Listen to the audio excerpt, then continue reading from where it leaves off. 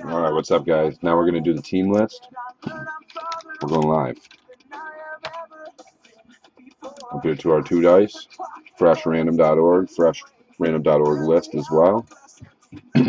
two dice, one time, no snake eyes. We got a seven. We're going seven times. Here's the MLB team list, alphabetical order by city.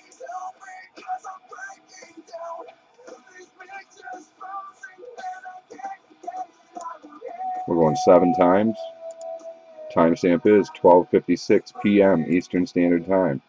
Here we go. One. Two. 30 items in our list. We've gone two times. Three. Four. Five.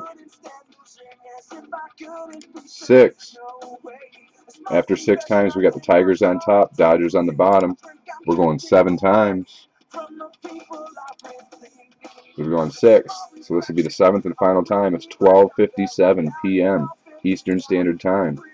Seventh and final time. This will be the final team list. We can mash them together, and you guys will know your teams. Here we go. There it is. We've gone seven times. Tampa Bay Rays on top. Angels of Anaheim on the bottom. We'll go like this.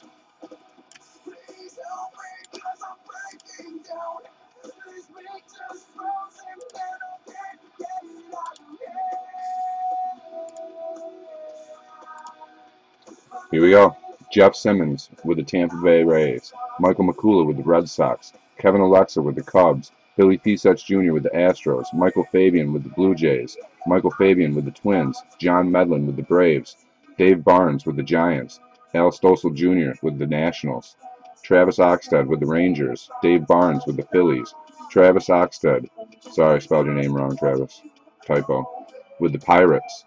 Billy Fesich Jr. with the Mariners, Jeff Simmons with the Indians, Michael Fabian, Fabian with the Orioles, Alan Henry with the Reds, Jeff Simmons with the Rockies, Jeff Simmons with the Yankees,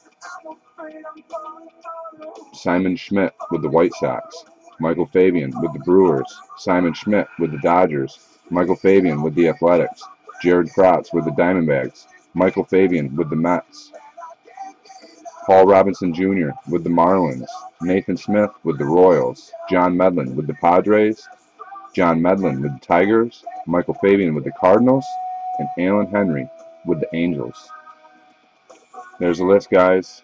I'll print it off, scan it, post a picture of the mashed up list here, team list, and we can start the trade thread. We'll be breaking right at 6 p.m. Eastern Standard Time. Thanks a lot, guys.